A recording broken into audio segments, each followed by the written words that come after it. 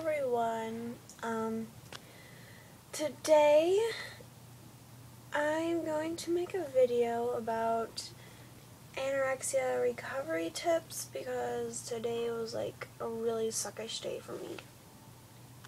Okay, all I had to eat was two pieces of toast for breakfast.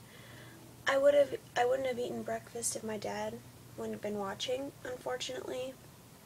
Um, lunch, an apple, snack, another apple, and dinner, a piece of chicken, and I had to eat a twice baked half a potato because my parents were around.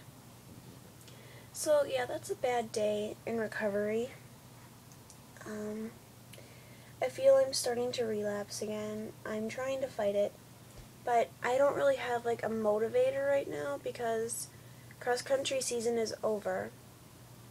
And that was the only reason I was eating because food was giving me energy to run faster. But now I don't I don't feel I have anything to motivate. Like today, um, the voice in my head told me, "Oh, Rachel, now you can finally starve yourself more just because you don't have to eat a lot for cross country." And I agreed with her. I feel like I've lost the rational side of me. Honestly, I have. So, um, recovery tips. I have two of them. I haven't been in recovery very long, so haven't learned many. One, um, hide the scale and the measuring tape.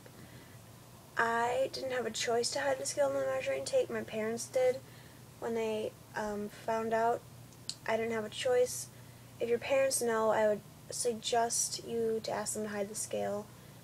Um, helped me not knowing my weight. It's actually helped a lot. Um, second one, try as hard as you possibly can not to count calories. I know it's going to be extremely hard.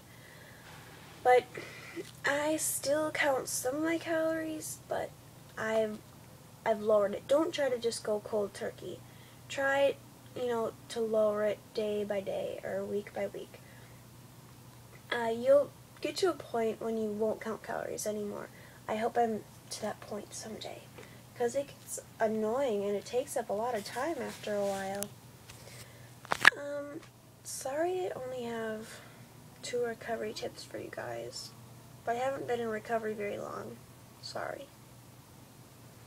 So, I thank you for watching this video wish me luck on my days ahead.